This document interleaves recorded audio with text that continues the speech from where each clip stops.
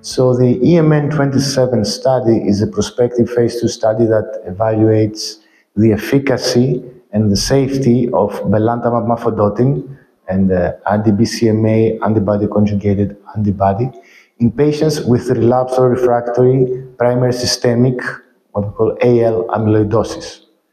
The primary uh, endpoint of the study was to evaluate the efficacy of this drug in this patient population. And of course, a critical secondary endpoint was to evaluate the safety in these patients.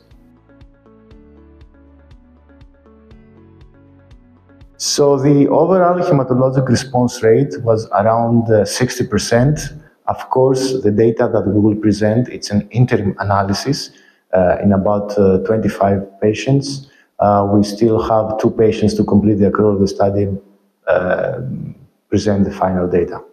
What is also very important is that many of these patients, actually more than 70%, had already been exposed to daratumumab or were refractory to daratumumab, and the overall hematologic response rate in uh, patients already exposed or refractory to daratumumab was about 56%.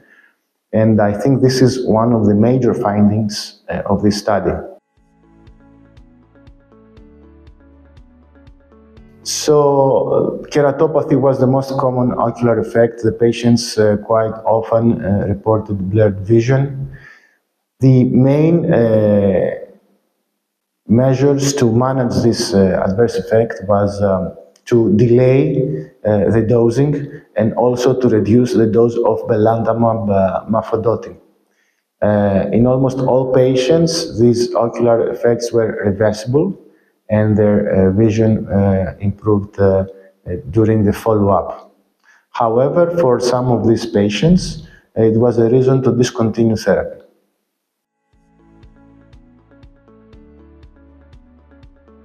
In the relapsed or refractory setting in AL amyloidosis, there are no standard therapies.